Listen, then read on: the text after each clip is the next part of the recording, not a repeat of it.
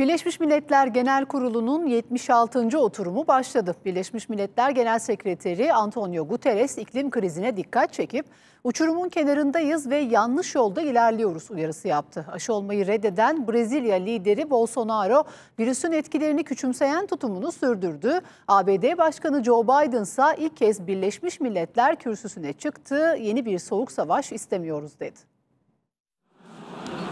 Dünyanın en büyük diplomasi buluşması başladı. 76. Birleşmiş Milletler Genel Kurulu'nun üst düzey oturumuna yüze yakın lider katılıyor. Salgın döneminin ilk kez yüz yüze oturumu yapılıyor.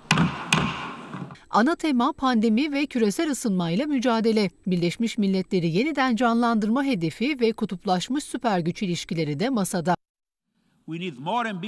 Açılış konuşmasını Genel Sekreter Antonio Guterres yaptı. Aşı adaletsizliğini eleştirdi. Bilim sınavını geçtik ama ahlak dersinde zayıf aldık dedi.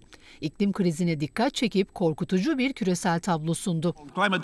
Alarm çalmak için buradayım. Dünya uyanmalı. Uçurumun kenarındayız ve yanlış yönde ilerliyoruz. Birçok ülke iklim hedeflerine ulaşmaktan ışık yılları uzakta. Guterres milyarderlerin uzay turizmi projelerini de hedefe aldı. İnsanlar milyonlar açken milyarderlerin uzay uçuşlarında eğlendiğini görüyor. Gençler kendilerine bir gelecek göremediği zaman inançlarını yitirirler dedi. Genel kurula hitap eden ilk lider Brezilya Devlet Başkanı oldu. Aşı olmayı reddeden Bolsonaro bunun yerine hala kanıtlanmamış tedavi kokteyllerini öne çıkardı. Virüsün etkilerini küçümseyen tavrını sürdürdü. Göreve başladığından bu yana Brezilya'da çok şey değişti diyerek yönetiminin başarılarıyla övündü. Bolsonaro Birleşmiş Milletler Merkezi dışında protesto edildi. ABD Başkanı Joe Biden Birleşmiş Milletler kürsüsüne ilk kez çıktı. İşbirliği mesajı verdi, insani yardım konusunda en fazla bağışı biz yapacağız dedi. Afganistan'dan çekilme kararının arkasında durdu. Yeni bir soğuk savaş istemiyoruz dedi. Koronavirüs salgını ve iklim değişikliğine dikkat çekti.